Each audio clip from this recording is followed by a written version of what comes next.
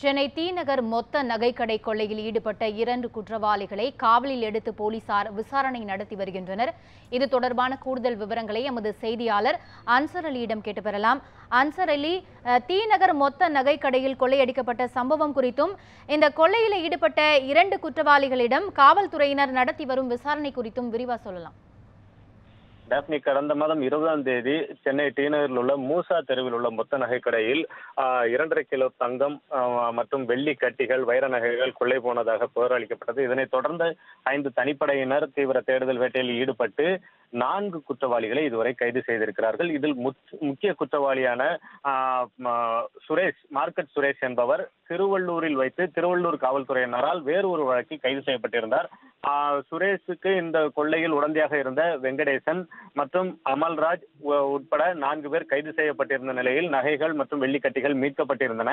இந்த சூழ்நிலையில் தற்பொழுது மாம்பலம் காவல்துறையினர் மார்க்கெட் சுரேஷையும் அவருக்கு உடந்தையாக இருந்த வெங்கடேஷ் ஆகியோரையும் ஒரு நாள் விசாரணை காவலில் எடுத்து தற்பொழுது விசாரணை மேற்கொண்டு வருகிறார்கள். இன்று மாலை மீண்டும் அவர்களை நீதிமன்றத்தில் ஆஜர்படுத்த உத்தரவிடப்பட்டிருக்கிறது. ஏற்கனவே நகைகள் அனைத்தும் மீட்கப்பட்டிருந்தாலும் கூட இந்த வழக்கில் ஒரு குற்றவாளியை தேடி வருவதாக ஆஹ், செய்தியாளர் சந்திப்பின் போது ஆஹ், கூடுதல் ஆஹ், ஆணையாளர் தெரிவித்திருந்தார். தெற்கு கூடுதல் ஆணையாளர் தெரிவித்த அந்த தகவலின் அடிப்படையில் மீண்டும் அவரை விசாரணை மேற்கொண்டு வருகிறார்கள்.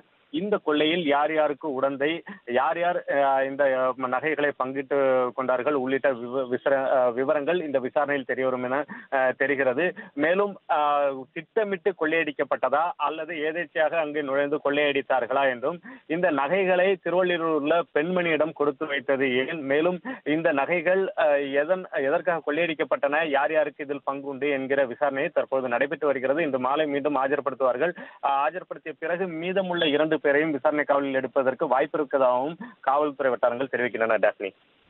நியூஸ் செவன் தமிழ் தொலைக்காட்சியை TAC TV SCV TCCL VK digital Aadhar Jak TV Akshaya digital ஆகிய cable கனெக்ஷன்களிலும் Airtel Tata Sky Sun Direct ஆகிய டிடிஎச்கள் உட்பட அனைத்து முன்னணி கேபிள் கனெக்ஷன்களிலும் காணலாம்.